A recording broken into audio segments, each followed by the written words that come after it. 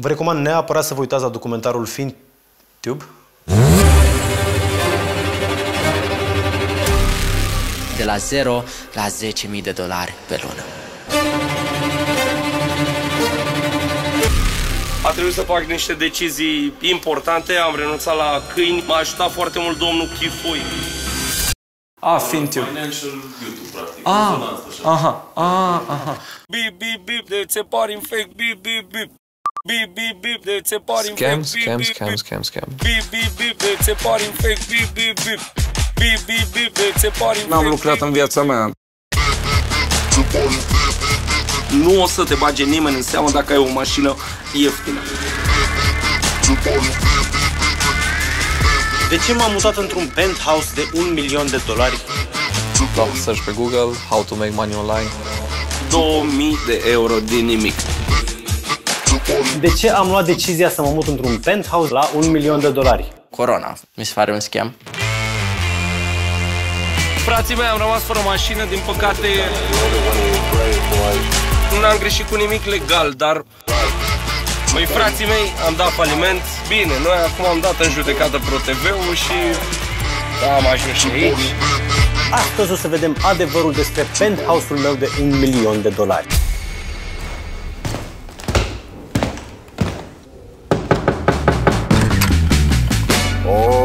Bine ați venit în penthouse-ul meu de cel puțin un milion de dolari. Să vă descălțați, vă rog frumos, că nu suntem în drumul tare, da? Vă poftesc în livingul meu, în spațiul meu de relaxare, de aici, de pe canapeluță. Privesc în fiecare zi indicele John Doe pe această plasmă, indicele care pentru mine este mereu pe plus. Bine ați venit în definiția luxului, dragi prieteni. Asta înseamnă lux. Fier forjat, cărămidă, lemn masiv, Haideți în zona de bucătărie. Aici am o persoană care îmi prepară cafeluța special pentru mine în fiecare dimineață. Mulțumesc, draga angajată. Haideți să vă arăt un loc special unde savurez această cafeluță. Hai cu mine! Unul dintre avantajele deținerii unui penthouse este că eu așa am încep fiecare dimineață, cu această priveliște minunată, la o cafeluță cu gânduri bune și pozitivitate. Simt poate puțină invidie în privirea dumneavoastră? Nu vă faceți griji. Tot ce vedeți aici este realizat prin multă muncă și determinare. Și dacă totuși undeva în sufletelul vostru mai rămâne un gram de invidie, ia vedeți când vibrează Rolex-ul ăsta. Ce zice? Aha. Zice că este vremea să ne facem propriul research.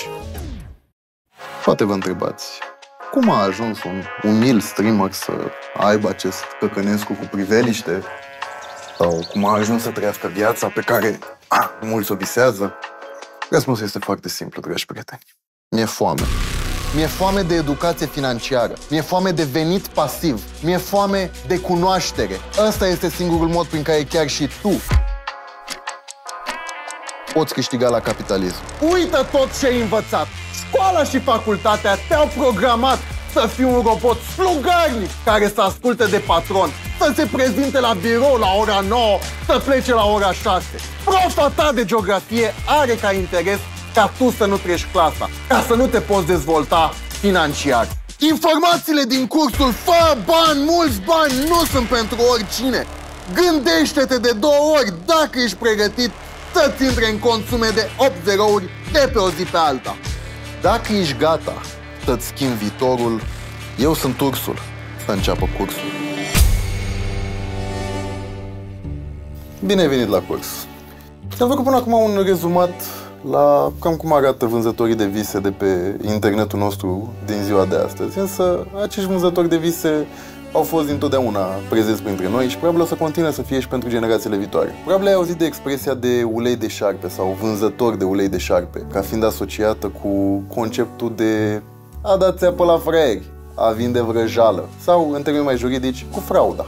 Istoria uleiului de șarpe e foarte interesantă și începe cândva în a doua jumătate a secolului XIX, când Statele Unite ale Americii își construiau infrastructura de cale ferată și, desigur, angajau uh, muncitori uh, din China pe salarii mizere ca să, așa, dea la baros, să le pună șina de tren frumos prin toată țara. Iar acești muncitori chinezi au adus uh, cu ei un remediu tradițional, un medicament, dacă doriți, pe care ei îl folosesc de foarte mult timp, și anume uleiul de șarpe care este obținut dintr-un șarpe specific regiunii, șarpele de apă chinez. Acest ulei de șarpe avea proprietăți antiinflamatorii și de alienare a durerii, lucru foarte folositor pentru niște oameni care munceau 12 ore pe zi. Long story short, când americanul a auzit despre acest medicament exotic, dacă doriți, s-a creat un întreg trend de panacee universale sau poțiuni magice care alină durerile, care uh, îți îmbunătățesc viața în toate modurile posibile, până când un băiat pe nume Clark Stanley s-a dus în piața mare, în târg, și a început să urle despre descoperirea lui proprie și personală, și anume uleiul de șarpe cu clopoței, care era un medicament care îți lua durerile cu mâna, fără să menționeze, desigur, uh, inspirația din uh, uleiul de șarpe chinezesc. E și domnul Stanley a vândut în draci uleiul de șarpe la americani, până când în 1917 l-au prins cu mâța în sap și au descoperit faptul că uleiul său de șarpe era format din grăsime animală, piper, ardei iute și terebentină, care era folosit ca solvent chimic. Bă, nene, omul vindea sos de shawarma hâț pe post de medicament minune. Și da, uleiul său de șarpe nu conținea absolut niciun strop de ulei de șarpe. De aici a intrat în cultura populară expresia de vânzător de ulei de șarpe, care este asociată cu vânzătorii de vrăjală, de vise și de fraudă la finalul zilei. De ce v-am spus povestea asta? Ca să putem să intrăm foarte simplu în istoria uleiului de șarpe românesc, pe care părinții și bunicii noștri l-au cumpărat la litru imediat după Revoluție. Caritas a fost prima și cea mai mare schemă piramidală care a țepuit milioane de români la începutul anilor 90. Ioan Stoica, un contabil anonim, promitea un sistem simplu de înțeles pentru toată lumea. Cine depune bani azi, în 3 luni primește de 8 ori mai mult, adică 1000 de lei depuși astăzi, în doar 3 luni se transformă miraculos în 8000 de lei. Cei care se înscriu la joc trebuie să renunțe la scepticism și odată suma încasată să continue jocul. Cu cât se înscriu mai mulți, cu atât numărul celor care câștigă este mai mare și ritmul plăților este mai rapid. Declara Ioan Stoica. Atrași de șansa îmbogățirii rapide, în mai puțin de 2 ani se estimează că românii au investit la Caritas între 1 și 5 miliarde de dolari. Guvernatorul Băncii Naționale a României, Muguri Sărescu, afirma la vremea respectivă, la un moment dat, că o treime din banii din România erau investiți în jocul piramidal. Ca în orice schemă de acest fel, când oamenii s-au oprit din a investi și și-au cerut banii înapoi, Caritas a declarat faliment cu datorii de 450 de milioane de dolari, iar Ioan Stoica a fost condamnat pentru fraudă în 1995 la doar un an și jumătate de închisoare. Fondat de Sorin Ovidiu Vântu în 1995, iar apoi administrat de Ioana Maria Vlas, FNI a funcționat după aceeași rețetă. Promitea administrarea banilor investitorilor în schimbul unei dobânzi de 3-4 ori mai mare decât cea de la băncile obișnuite. Schema a atras peste 300.000 de români, mai ales pentru că statul a garantat pentru FNI prin cec. Banca Statului Român. Spre deosebire de Caritas, oamenii au avut garanția explicită că banii lor nu sunt în mâna vreunei firme fantomă care poate dispărea mâine, ci sunt garantați de instituțiile statului român. După sistemul deja prezentat în cazul Caritas, în anul 2000, FNI nu mai poate plăti înapoi investitorii și se prăbușește. Păgubiții ies în stradă, statul emite mandate de arestare pe numele șefilor FNI, Ioana Maria Vlas și Nicolae Popa, iar aceștia fug din țară. Într-un final, Ioana Maria Vlas a stat șase ani în închisoare. Nicolae Popa a trăit timp de 10 ani în alte țări, fugind de autorități și a fost arestat abia în 2011 iar Sorin Ovidiu Vântu, fondatorul FNI, a fost condamnat la 5 ani de închisoare pentru mai multe fapte ilegale, pedepsele fiind contopite. De-a lungul anilor 90 și 2000, în total, 6 milioane de români au fost prejudiciați de Caritas, FNI, Gerald, Safi și alte scheme de fraudare financiară care au profitat de naivitatea și dorința de îmbogățire rapidă a părinților și bunicilor noștri, treziți peste noapte în capitalismul mult visat. Gelu, de ce a pus lumea bota de ușor la Caritas, FNI, toate schemele de genul ăsta? Cum arăta România în anii aia? România în care toată lumea începea să descopere uh, bunăstarea și puteai să ți-o arăți. Pentru că până atunci, chiar dacă aveai bani, nu puteai să-i arăți că venea dracu cu miliția și te lua. Mai mult decât atât, bogăția era în puterea doar protipendadei comunistă. Omul de rând nu prea putea. Și în momentul în care a venit uh, capitalismul, dar toată lumea a început să poată să-și arate bogăția. Și atunci toate chestiunile care erau uh, prezente în societatea trecutului, și anume ideile că haina face pe om, uh, dar bunăstarea trebuie arătată, degeaba ai bani dacă nu poți să arăți. Și toate ideile cu care noi am fost învățați conștient sau inconștient au putut, au putut fi și puse în uh, practică. Logic că unii au venit și au uh, arătat și au vândut și mirajul ăsta te îmbogățești repede.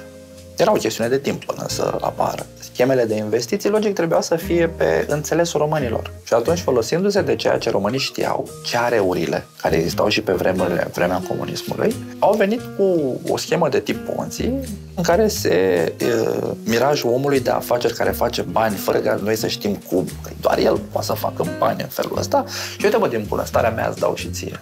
Marea problemă a fost când uh, acea schemă a fost susținută de influențării vremurilor. Oameni politici, fețe bisericești și așa mai departe, care, într-un fel sau altul, au devenit promotorii a acelor mesaje și a mecanismului de a te îmbogăți. Nu exista internet atunci sau dar nu era ceva cunoscut pentru România, așa că promovarea se făcea mai degrabă la nivelul de gură în gură. Da, pentru că în momentul în care acea schemă a avut succes, în foarte multe reședințe de județ au apărut tot felul de scheme mult mai mici, care, în schimb, a fost un fenomen național. Da? Adică să stătea zile întregi la rând în fața sediului pentru a depune banii din dorința de a câștiga foarte repede alți bani. Acum, și chestiunea era posibilă pentru că noi totuși eram o națiune care nu prea înțelegeam poveștile astea. Alfabetismul financiar era și mai mare decât este în momentul de față.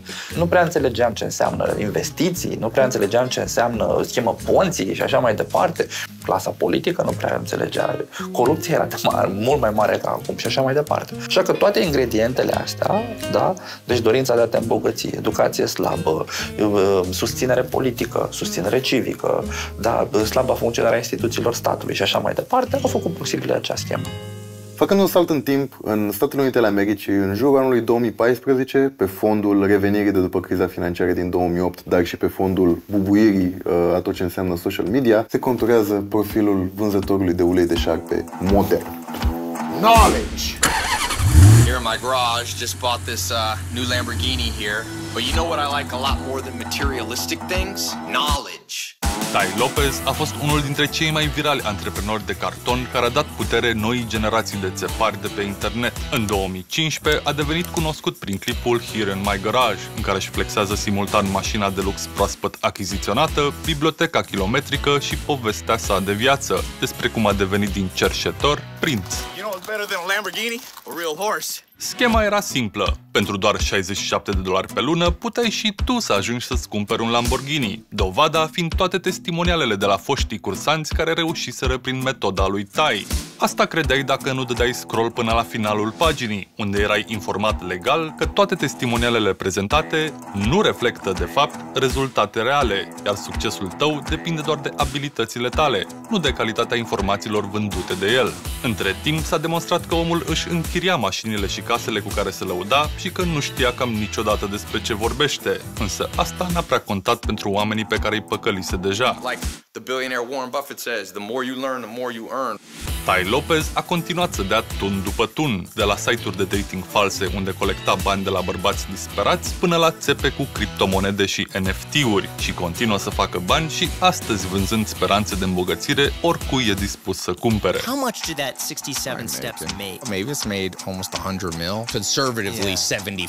Băieții ăștia, cum ar fi Tai Lopez, au făcut avere afișând o imagine falsă de bogăție pe internet, vânzând cursuri sau ținând seminarii live pe mii de dolari, unde puteai să afli și tu cum poți să devii următorul multitriliardar. Și asta n-a fost în niciun caz o revoluție, mai degrabă a fost o chestie cu care ne-am uh, nimerit noi, generația actuală. Înainte de Tai Lopez sau Gary Vee au fost Robert Kiyosaki sau schemării de pe teleshopping anilor 80 din Statele Unite, step-by-step system. And then I finally developed a system. Pretty easy to do if you just follow my system step by step. But you don't have to take just my word for it. Without Gary's course, we would be bankrupt. You know, without a doubt, it worked. Absolutely, everybody would be successful that uses Gary's course. Sper că observ repetitivitatea acestei scheme de la o generație la alta. Și din toată inspirația asta, ce moment mai bun să o pui în aplicare decât pandemia? Pandemia a fost o oportunitate fantastică pentru toți acești antreprenori de a profita de timpul liber al oamenilor, de banii nepuși în circulație sau pur și simplu de plictiseala celor închiși în casă.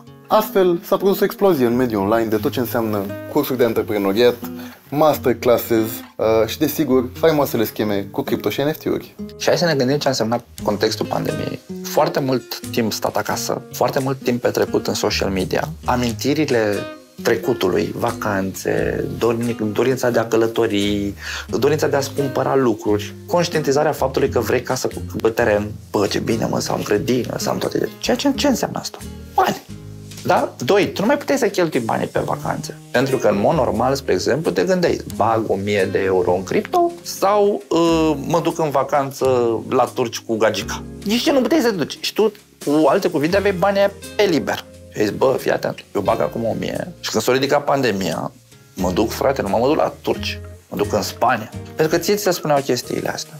Pe de-o parte. Pe de cealaltă parte, știi? Întotdeauna când avem așa sentimentul morții mai aproape, dorința de consum este mult mai mare.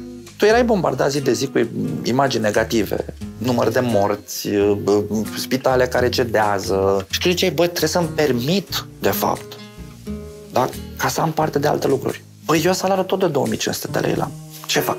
Păi stai mă, uite, uite. Ăștia zic că dacă investești 500, s-ar putea să fac 1000 într-un context în care n-ar fi fost pandemie, n-am fi fost liberi uh, și așa mai departe, lucrurile ar fi stat un pic altfel. Însă în contextul în care tu aveai sentimentul ăla de sufocare, nu te întâlneai cu gașca, nu refulai, nu vorbeai de gagici, nu vorbeai de ce pana mea vorbește fiecare în grupul lui. Tu vedeai doar cripto, mipto, lipto și jocuri de noroc, păcănele, cazinouri online, uh, din plictiseală, din dorința de a face bani.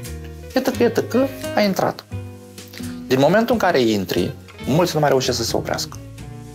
Revenind, boomul anilor 2015-2019 în materie de vânzători de ulei de șarpe americani a inspirat și pe meleagurile românești niște vânzători de ulei de urzici.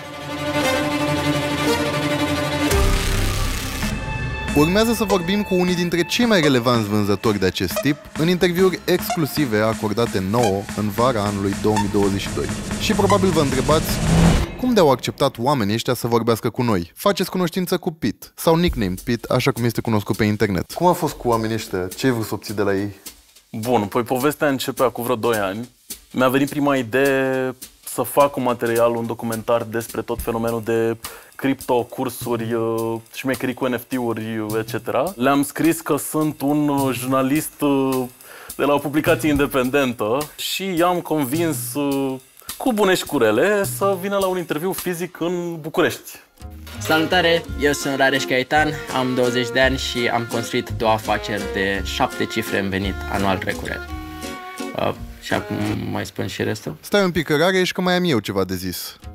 Un om de afaceri de 20 de ani, intrat în lumea businessului în 2019 ca vânzător de budinci cu ovăz. La doar un an după închiderea acestui business pricinuită de pandemia COVID, Rareș susține că produce peste 20.000 de euro lunar de la clienți precum Chloe, un brand legendar de haine de lux, sau Eli Lilly, o corporație farmaceutică gigant. Robert Metecapa și Vlad Stoica au fost și ei promotori ai cursului lui Rareș la acea vreme. De atunci, Rareș susține că a devenit unul dintre cei mai bogați oameni din România, deținând un autovehicul Aston Martin de 200.000 de euro, un ceas de 130.000 de euro, iar prin cumpărarea cursurilor sale te învață și pe tine cum să faci 10.000 de euro lunar în următoarele 60-90 de zile. În realitatea datelor oficiale ANAF, raportul arată că Rareș a produs 7.000 de euro în 2021, însemnând cam 2.800 de lei pe lună mi se pare că cu cât faci mai mulți bani, cu atât dai o valoare mai mare în societate. Salut, sunt Robert Matache, lumea mă știe Robert Metecapa de pe YouTube and so on. Un personaj care a activat în domeniul fondurilor europene, prestând servicii de marketing către firme de consultanță.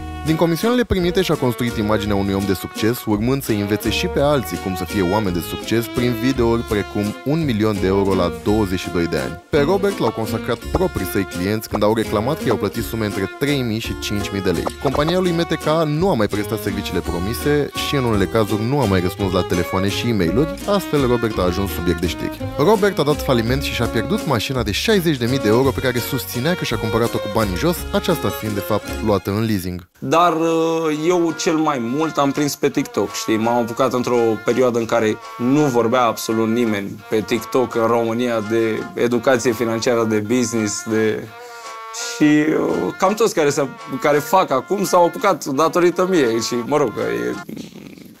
Într-o zi eram pe TikTok și uh, am văzut un puști, Matache se numea. Dacă puștiul ăsta care n-a realizat mare lucru are tupeu să facă asta, eu de ce n-aș avea?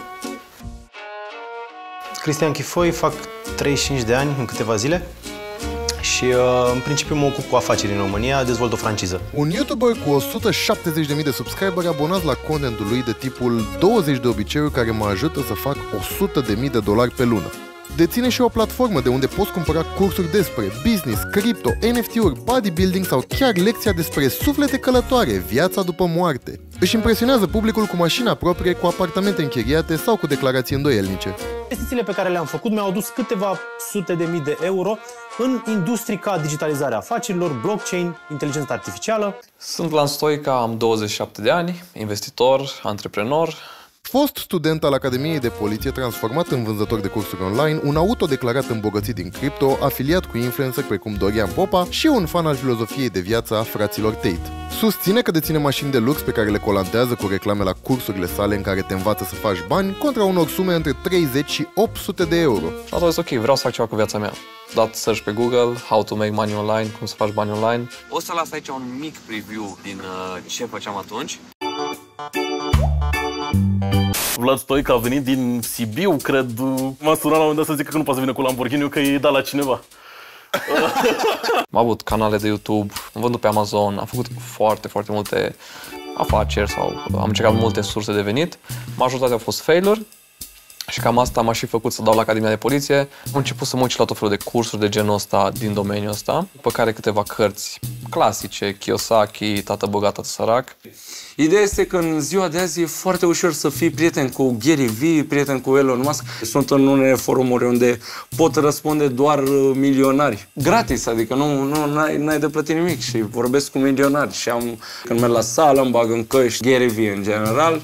Însă, în momentul în care mă educ, mi se pare că persoanele din social media educă cel mai mult. Eu, cel puțin, mi-am am învățat educație financiară de din cărți și de pe net.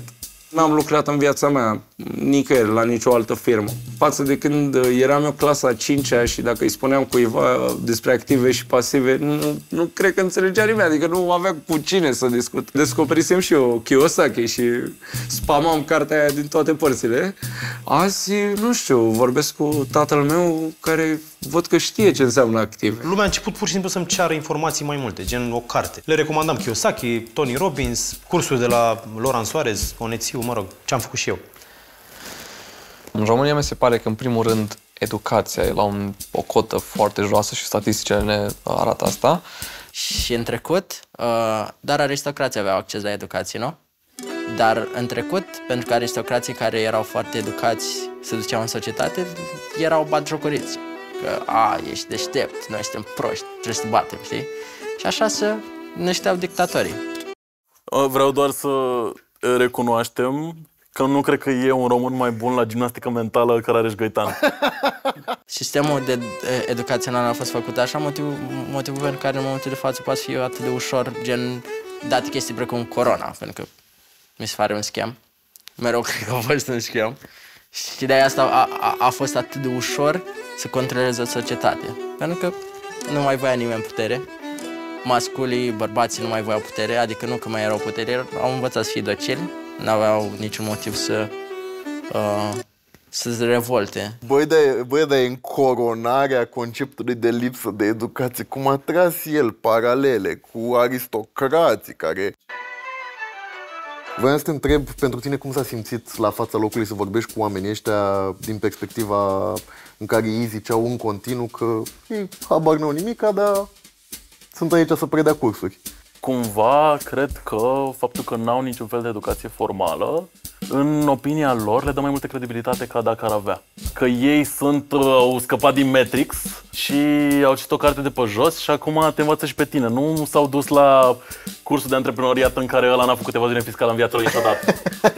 și toți aveau take-ul ăsta că, bă, păi dar cum să mă înveți un profesor de economie cum să fac bani când el e profesor de economie și nu face bani. E mult mai să relaționez cu un băiat de pe stradă decât să relaționez cu unul care are doctoratul dat.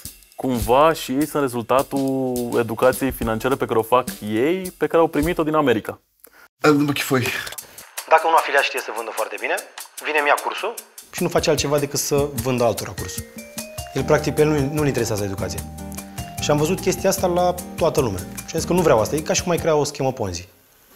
Affiliate marketing, affiliate marketing mi se pare un mod foarte bun de promovare și am zis ok, pot să creez un curs în care să învăț pe oameni tot ce știu eu. M-am săturat de cursuri de astea de uh, șase semne că o să fii milionari, știi? Hai să învățăm ceva concret, știi? Vreau să învăț uh, contabilitate primară, vreau să învăț uh, cum se face un MVP, cum se face un studiu de caz, cum fac. Un NFT nu este o poză. Dacă îl privești ca pe poză, ok, cumperi o poză și nu faci nimic cu ea. Ai un NFT de la noi, te conectezi oricând vrei tu și de pe telefon și de pe laptop și înveți când vrei tu ce vrei tu. În loc să utilizeze un two-factor authentication sau un simplu login, folosesc un NFT. Ceea ce nu e nicio re- re- gen, nu e ceva revoluționar să folosești un NFT.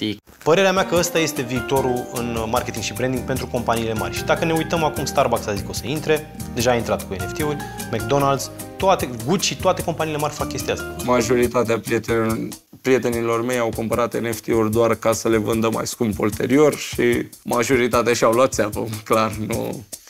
În NFT-uri n-am investit, n-am găsit proiect care să aibă o utilitate reală. Asta zic toți acum. E schemă piramidală, e Ponzi, e Caritas. E clar că acum e cel mai bun moment de investit. Faptul că i-am lăsat să vorbească fără un set de întrebări și mai mult cât să le înțeleg opiniile și să poată să-și spună, să se ducă în orice direcție, a venit și cu niște consecințe pe care mi le doream. Și anume să aud uh, toată relația pe care o are Rareș Găitan cu taicăsul. Gen, băr- bărbații au devenit din, mult, mult mai sensibili. Taică meu e un, e, un, e un bărbat foarte sensibil și nu, nu, nu pot să-l con- îl iubesc din tot sufletul și respect din, din când eram între 14-16 ani, îmbăteam singur, încercam să am grijă de mine singur, chiar dacă ai mei, gen, erau acolo să mă susțină emoțional, nu, nu gen, m-ar fi susținut cu siguranță și monetar, dar nu aveau de unde.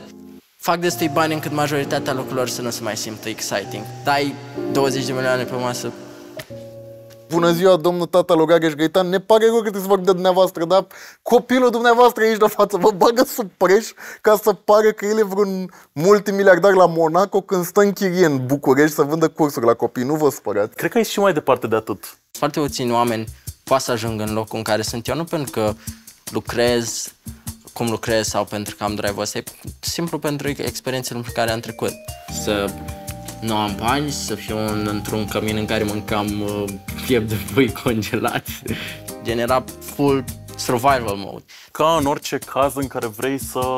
Nu știu cum să-ți spun, că să nu ajungem în probleme legale. Mm. Când vrei să vinzi ceva cuiva. Mm, așa.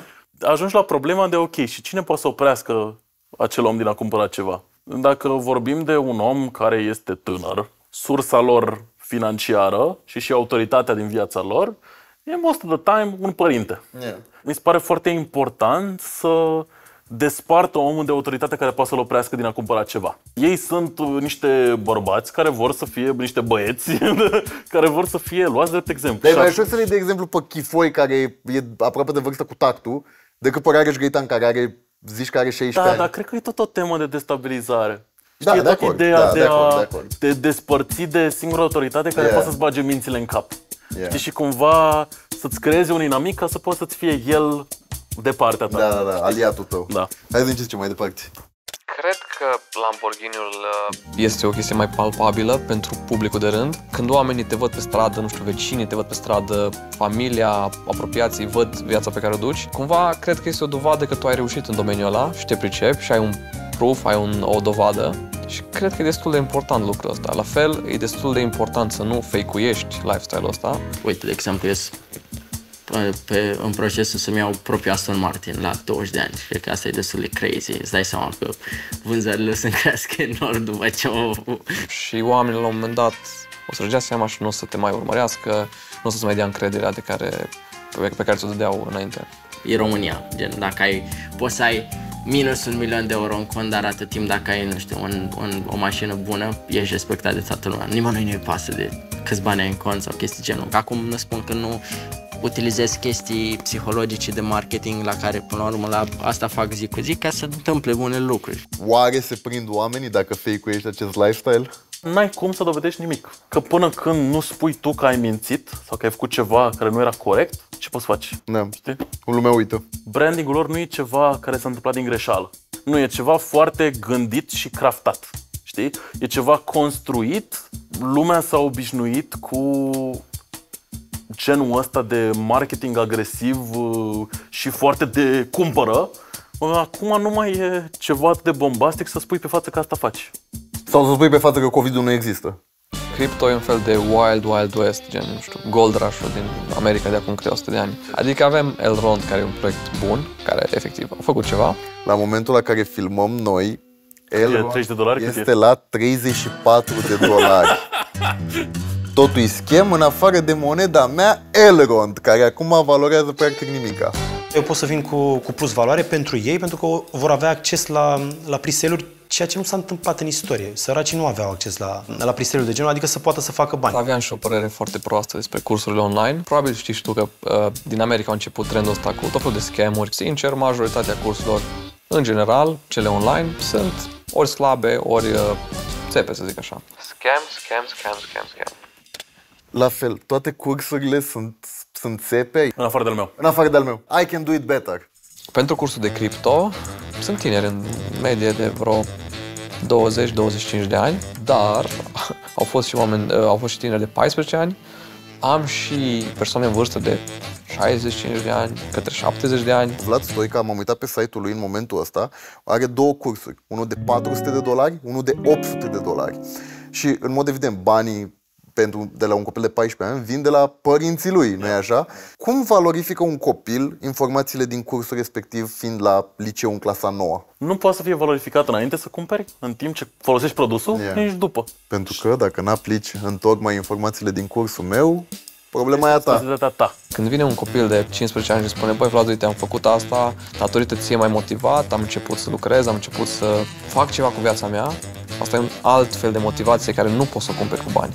La un moment dat, când portofoliul meu de cripto a depășit la cam un milion și de dolari, mi-am dat seama că mindset-ul meu și educația mea financiară nu era la nivelul portofoliului care crescuse destul de mult. Și atunci am luat un teanc de cărți de educație financiară și am zis, ok, trebuie să citesc, trebuie să mă documentez cum să fac să gestionez banii respectivi. Eu când am început în uh, social media, eram la e pe canapea, deci am ajuns în pandemie și a trebuit să fac niște restructurări, a trebuit să schimb tot ce am gândit până atunci, pentru că nu mai funcționa, ca să elimin orice fel de cheltuială și să îmi pun ordine în gânduri să văd ce am de făcut. Și în prezent stau într-un penthouse la etajul 21. Trebuie să fiu petty pentru o secundă, dar, Cristian, cred că, cred că eu stau acum în penthouse-ul ăla. Ok, du-te și fă facultatea, du-te și fă școala. Nu zice nimeni să nu dai bacul sau... Dar în momentul în care ai o idee și vrei să o documentezi și vrei să încerci să lucrezi în direcția aia, nu te lua după ce spun ceilalți. Ei nu înțeleg la ce te gândești. Du și fă Nu știi cum să începi un magazin online de dropshipping, Shopify, da? Alibaba sau AliExpress, nu există să nu știi. Deci părerea mea, muncește orice îți vine în cap în momentul ăsta. Dacă ai facultate, nu e o scuză să nu muncești, ai timp să faci de toate. Poți să dormi 4 ore pe noapte și să mănânci o dată pe zi și nu mori. Nu, nu vreau să fiu foarte conspiraționist sau ceva de genul, nu știu dacă e voită chestia asta sau nu. E clar că cineva sau o mână de oameni controlează practic uh, toți banii, unde se duc ei și se creează o segregare din asta, adică bogații devin mult mai bogați și săracii mult mai săraci, tocmai din cauza asta. Chifoi descoperă lupta de clasă.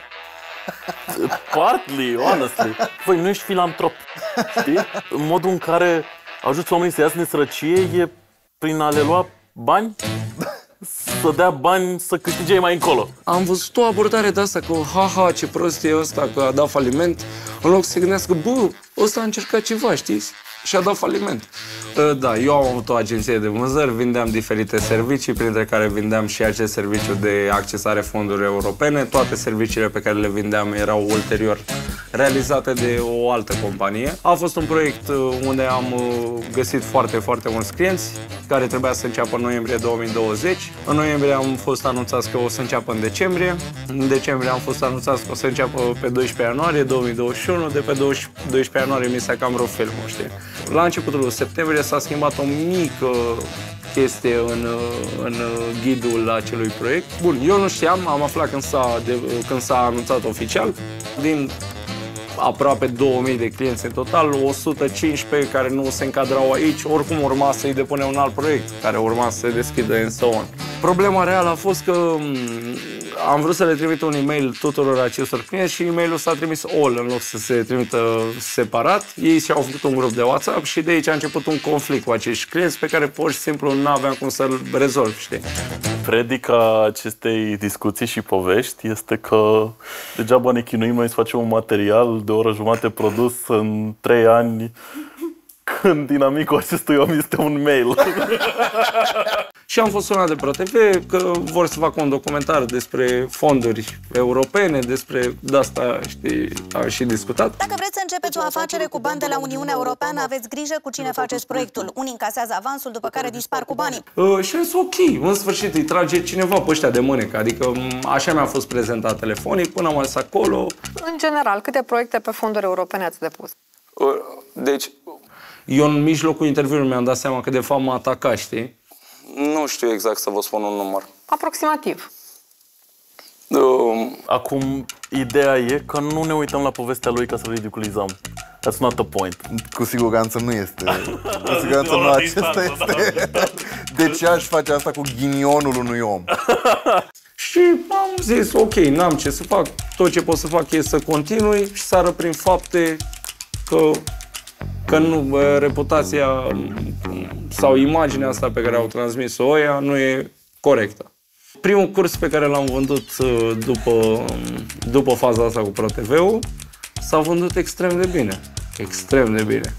Robert, din greșeală, a dat un insight foarte, foarte bun despre cum funcționează genul ăsta de povești și cum este imposibil în the end să tragi pe oricine la, la răspundere, chiar dacă fac ceva care e constituit o... Da. Nu știu dacă faptă penală neapărat în cazul lui, dar, na, în înțelegerea lor, asta e o purtate de PR. E o purtate să vândă mai multe cursuri Și el știe că nici nu o să mai găsească o schemă la un moment dat. Cred că puțină lume știe că Robert abia acum foarte recent are un proces pierdut în Piatra Neamț, de la un reclamant din Piatra Neamț, unde a fost obligat să-i dea lui la banii înapoi, plus cheltuielile de judecată. Dar în rest, în rest, de fapt, astăzi, 23 noiembrie, Robert a fost săltat de poliție. Numărul celor înșelați de MTK ar putea fi mult mai mare. La percheziții, anchetatorii au descoperit peste 500 de contracte pe care Robert le-a încheiat cu alte persoane. După 24 de ore petrecute în spatele gratiilor, tânărul a fost plasat sub control judiciar pentru o perioadă de 60 de zile. Silviu Fire este unul dintre influencerii care l-au deconspirat pe Robert MTK încă de anul trecut. Iubesc faptul că tot ce s-a întâmplat cu ProTV, tare rău de tot. Refuz să te dai bătut, n-ai voie. E imposibil. Până mor, încerc. Trebuie să iasă. Eu așa pun eu problema. Uh, trecând mai departe, pe, pe lângă cei patru oameni cu care am vorbit, uh, cei patru influencer de educație financiară, am vorbit cu Dima, care e un influencer cu 100.000 de urmăritori pe 11.000 de platforme, uh, cunoscut și colocvial drept uh, Break! uh, și care a promovat o schemă Ponzi. Mă rog, o să ne explice cel mai multe în chipul următor. Mie mi se spune Dimaș așa pentru că e nume de familie, dar așa îmi place mie, pentru că mă cheamă și Ionuț, dar nu-mi place Ionuț, sunt blogger de vreo 3 ani și cu asta mă ocup, social media content. E vorba de trei firme aici, nu e vorba de una. Nelson Finance, Invest Finance și Onyx Capital. Sunt trei, le o să le țin minte toată viața. Ei ce făceau? Investești pe termen scurt, era undeva la 3 zile, îți dăm înapoi 10-15%. Investești pe o lună, îți dăm undeva la 30% înapoi, investești pe 3 luni, îți dăm 50% înapoi, adică 150%, de, 150% profit. Noi investim banii tăi uh, până în momentul în care s-au închis toate paginile astea. Ei, din câte știu, n-au dat țeapă la nimeni. Ei își creșteau un continuu business adică eu investeam 1000 de euro, apoi românul acum, că asta e toată ideea. S-a, totul s-a bazat pe locomie. Investea, strângea de la toată familia, toți banii și investea iar, știi?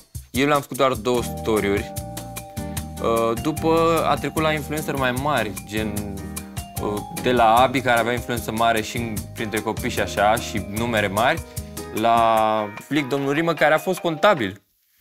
Uh, Nu știam încă că e țeapă, pentru că am văzut, bă, promovează toți influencerii mari. Cumva asta e, că îl înțeleg și pe el. E destul să convingi un fraier care să te promoveze prima dată, după care al doilea, păi a, da, Deci stă, bă, că a făcut și flic, da. Și după al treilea, a, păi au mai promovat doi. Și tot așa. Deși, în mod evident, Dima nu este o victimă per se, pentru că la rândul lui a creat alte sute, probabil mii de victime, dar că și el este în aceeași, în același lup de ăsta, de, în același lanț de tras țeapă. Că da. și el, la rândul lui, susține el, nu avem de unde să știm, dar dacă alegem să-l credem, și el, la rândul lui, și-a luat țeapă de la ăia. Oamenii aveau mulți bani de investit în marketing, pentru că aveau mulți bani de la oameni de rând. A fost uh, o schemă piramidală, exact. Exact un Caritas din anii 90, când un, am uitat cum îl cheamă, un mare contabil, a început din vorbă în vorbă să zică la lume, bă, investiți, eu investesc la bursă sau nu știu unde, vă dau înapoi și a făcut milioane de lei, plănuiau chestii mult mai mari, să facă o universitate de, de învățat oamenii să investească, ei aveau mult mai multe planuri. Pentru mine e șocantă fix ideea de în anul de grație al Domnului să vină niște băieți să zică exact, să facă exact ca ce a făcut Caritas și oamenii să pună botul. Și nu doar oamenii, ci și oamenii care au, noi așa, urmăritori copilași, sute de mii la număr. Acestea fiind zise, Pit, cum te simți după un an de la toată experiența asta? Am avut uh, un an să mă gândesc și să filozofez și să raționalizez în continuare.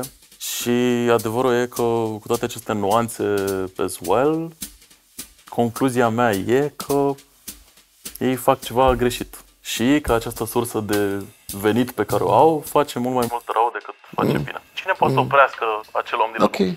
Da, bine, am înțeles. Astea discuții, păreri, filozofii, căcat. Asta ce bani. Vrei să faci bani? E atât de simplu. Șapte pași simpli de la mine pentru tine. Faci un curs, facem bani, îmbârligăm niște fraieri și la final ai tu procent. Că nu ești scățar. Pasul 1. Stabilește-ți audiența. Audiența ta este foarte importantă pentru că de-a lungul cursului va urma să-i exploatezi fricile și vulnerabilitățile în interes propriu. De cel mai multe ori aceste cursuri se adresează bărbaților pentru că în această lume noi suntem cei mai predispuși la a ne simți oribil din cauza că nu producem destui bani, că sclavim la patron, că frecăm menta în casă în timp ce lumea se duce de râpă în mijlocul pandemiei sau poate pur și simplu că nu avem ultimul model de BMW cu care să facem 8 ori în parcare la Lidl. Și fie vorba între noi, este ușor să fii vulnerabil la așa ceva în stadiul capitalismului în care suntem. Nu știu, am auzit și asta de undeva, bagnam. Ca asta, că nimeni nu muncește și este remunerat pe măsura muncii lui, că probabil ai un credit la bancă, că poate ți-ai făcut niște datorii să bagi la păcănele. Asta e climatul perfect pentru așa ceva și dacă zice cineva ceva, bă nene, nu-i prostă de vinde, e prostă de cumpără, mai înțeles? Pasul 2. Scrie cursul. Este ideal ca subiectul pe care îl dezbați în cursul tău să fie relativ familiar pentru audiența ta. Investiții la bursă? Păi a văzut toată lumea de Wolf of Wall Street. Acolo îți fac bani. Cripto? Păi acolo pică bani din ce știu eu pe cineva care știe pe cineva care și-a luat apartament așa. Uh, inteligența artificială. Păi a văzut bunica ta la știre, zice ea că ăsta e viitorul. După ce ai ales un subiect bun de curs care să sune interesant și captivant pentru mai multă lume, e vremea să scrii cursul. LOL, glumesc. Conținutul cursului este absolut irelevant. De-aia toate cursurile scrise de antreprenori români sunt fie copiate din afară, fie scrise sub marca de experiență personală, care în traducere liberă înseamnă ficțiune. Te-a pus și scrii, mă, nene, eu sunt bogat, eu sunt șmecher, eu am gagici și am obținut toate aceste lucruri prin muncă asiduă și 10 flotări în fiecare dimineață. E de simplu. Dar pentru toată vrăjeala asta este foarte important următorul pas. Pasul 3. Empatizează cu audiența ta. Credibilitatea pe care o ai nu provine doar din hainele scumpe, mașinile de lux și vacanțele cu care te flexezi. Aceasta vine și din uh, empatia, prietenia și relația de guru acolit pe care urmează să o ai cu audiența ta. Oamenii ăștia trebuie să știe că dorința ta de a ajuta vine din empatie. Că și tu ai fost ca ei, sărac, mediocru, ignorant și ai depășit chestiile astea și știi secretul pentru a depăși chestiile astea pe care poți să-l împărtășești cu ei pentru un preț corect. Și nu uita niciodată, tu ai plecat de jos, te-ai ridicat din sărăcie, ai făcut eforturi supraomenești ca să ajungi astăzi aici. Pentru că astfel, dacă tu ai reușit, atunci și audiența ta trebuie să reușească. Pasul 4. Acum ai un curs, felicitări. E vremea să dezvoltăm strategia de marketing. Bineînțeles, la început va trebui să investești niște bănuți în uh, reclame plătite pe social media care să ajungă la audiența pe care ți-o dorești. Aici trebuie să folosești niște expresii cheie care să manipuleze vulnerabilitățile oamenilor. Ieși din sărăcie, libertate financiară, venit pasiv, în câțiva pași, ultima șansă, ultimele locuri, milionar la 13 ani, mindset antreprenorial, mindset de business. Concomitent, trebuie să-ți creezi și să susții imaginea în fața audienței tale, iar imaginea ta trebuie să fie cea de succes, stereotipică românească, așa nume, mașini de lux, haine scumpe, Rolex-uri la mână, vacanțe exotice. Și dacă nu știi cum să obții toate chestiile astea, te învăț eu. Hei, bine ai venit la webinarul gratuit Cum să par bogat pe internet, filmat în cel de-al doilea penthouse pe care îl dețin.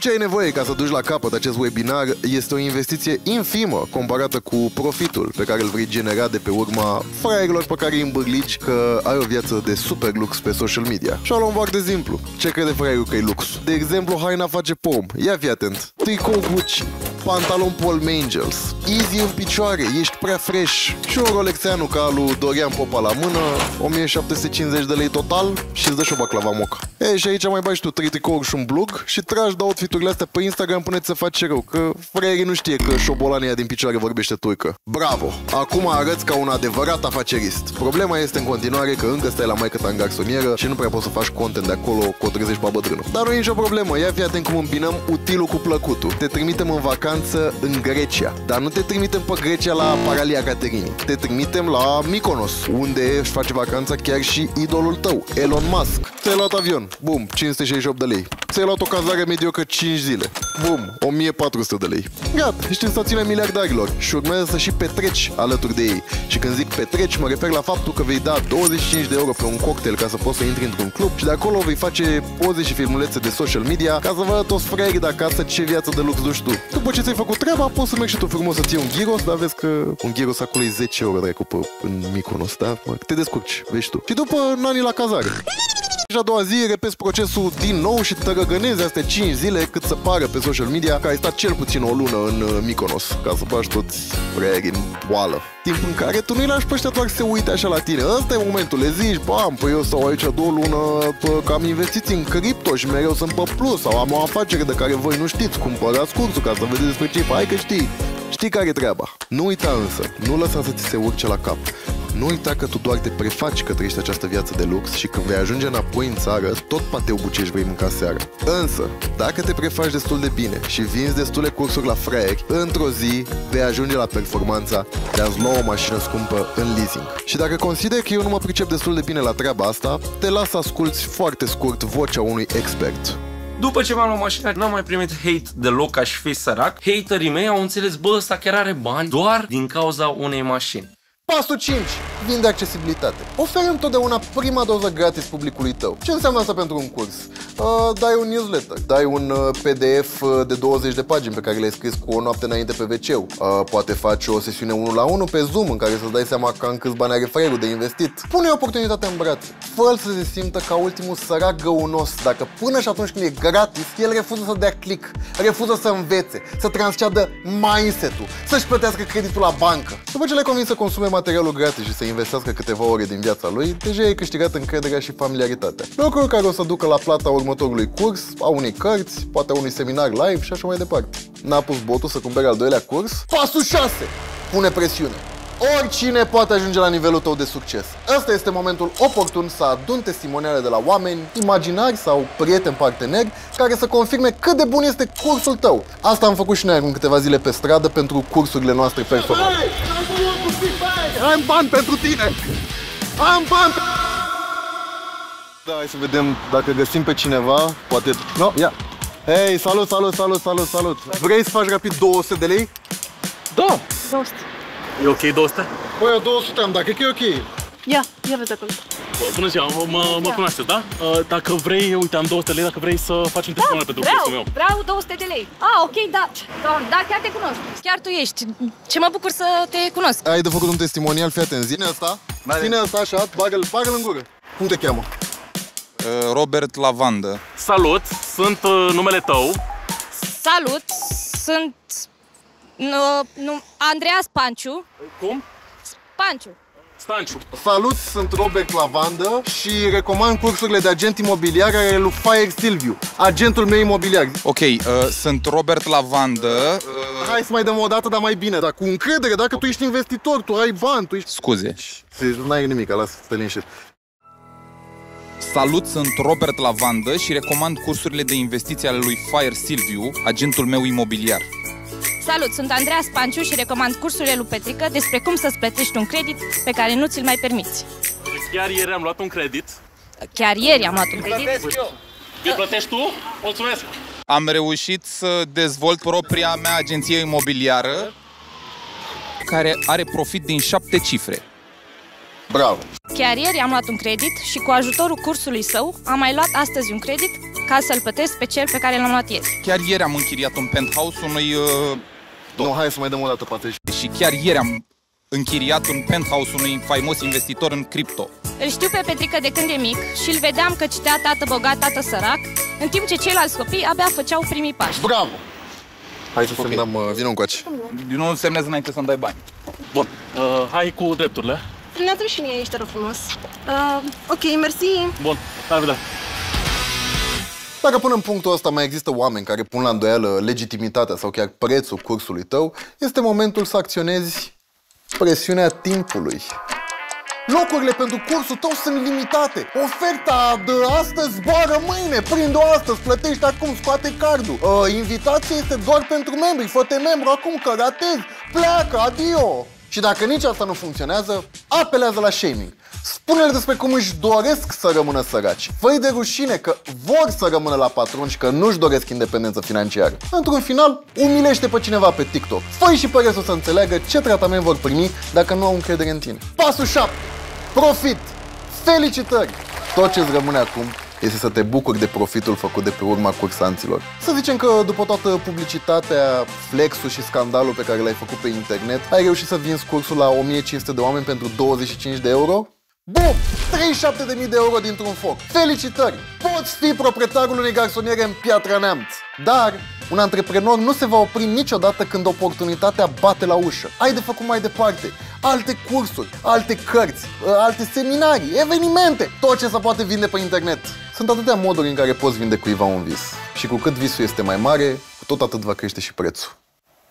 Succesul vine la pachet cu o mulțime de plăți pe care trebuie să le faci. Nu există succes pe toate liniile. Dacă vă uitați, spre exemplu, la oamenii foarte bogați, o să vedeți că au familii foarte puțini, au aceeași familie de ani de zile. Că sunt relații de căcat cu copiii, că nu știu ce, că nu știu ce, că n-au... Act de succes înseamnă tot. Măi, trebuie să te uiți cu toate. Și atunci alegem cunoștință de cauză și în funcție de ce îți face ție sufletul să vibreze frumos. Succes înseamnă și omul ăla care și-a crescut uh, copiii frumos sau care face voluntariat pentru știu eu ce și omul ăla care se duce la muncă și își face treaba într-un mecanism. Da? Pentru că succesul e dat mai degrabă de valorile la care tu te ancorezi. Da? Eu nu cred că un multimiliardar este un om mai de succes decât mama mea care a crescut cinci copii și care este analfabetă. Nu mi-a spus-o nimeni, dar parcă o simțeam Doar așteptam să-mi fie și mie. E mai clar. Să fie și mie e mai clar. Și acum că știu, răsuflu ușurat. Nu sunt mai sărac dacă nu sunt bogat. Dacă nu dacă nu dacă nu sunt bogat. Am luat doar o țeapă, dar sunt mândru de ea. Doar o țepică mică de tot Aș da-o și eu mai departe la alt cineva. Țepică mică de tot. Dar nu prea mă lasă inima mea. Ai inima mare cât țeapa mea. Că mai am de plătit două cursuri cu ea. Două cursuri, două cursuri cu țeapa mea. Dacă ești gata să-ți schimbi viitorul Eu sunt ursul să înceapă cursul. Eu sunt ursul să înceapă